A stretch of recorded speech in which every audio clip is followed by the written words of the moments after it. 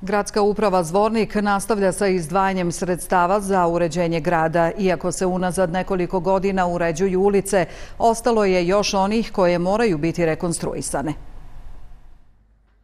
Radovima u ulici Braće Jugović u Zvorniku nastavljena je rekonstrukcija gradskih ulica. Radovi obuhvataju zamjenu dijela vodovodne i kanalizacione mreže te asfaltiranje cijele saobraćajnice i izradu trotoara i slivnika.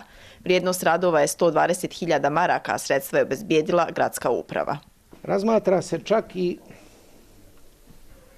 izgradnja paralelne saobraćajnice u B blokovima magistralnom putu gdje bismo praktično imali samo jedno uključenje ili isključenje sa magistralnog puta u, u, u B blokove, eventualno dva, vi danas imate imate problem da, da se to dešava na 5-6 mjesta, pa svako onaj ko sad vozi se, na primjer, prema Karakaju i treba da krene lijevo, on napravi ogromnu kolonu iza sebe, dok, dok se ne stvore uslovi da ga propusti onaj koji ide u suprotnom smjeru od Karakaja prema gradu. Zvorničani su zadovoljni, grad je, kažu, sve ljepši i uređeniji. Njih se mnogo izgrađuje i treba i ova infrastruktura da ga prati izgradnju zgrada. Jedino ovaj, smo ostali tijesni sa pješačkim stazama i što je najgore ovaj, parkiraju se na pješačke prelaze. Doprinosi zato što je grad, što on kaže, ljepše izgleda i sve, a